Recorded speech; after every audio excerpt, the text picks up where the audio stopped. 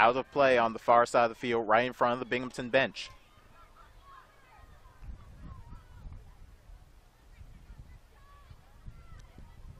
UMBC trying to play keep away from Binghamton.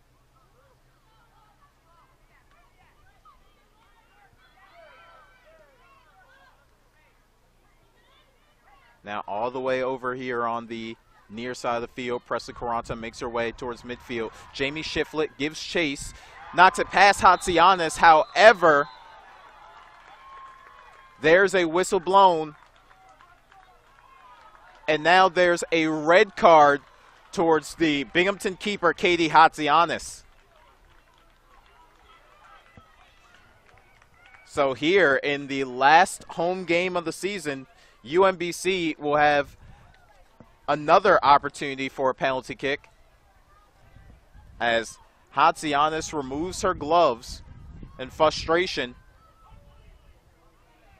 Can hear the call of unbelievable coming from the Binghamton bench as Hatziyianis will make her way off the field due to the red card.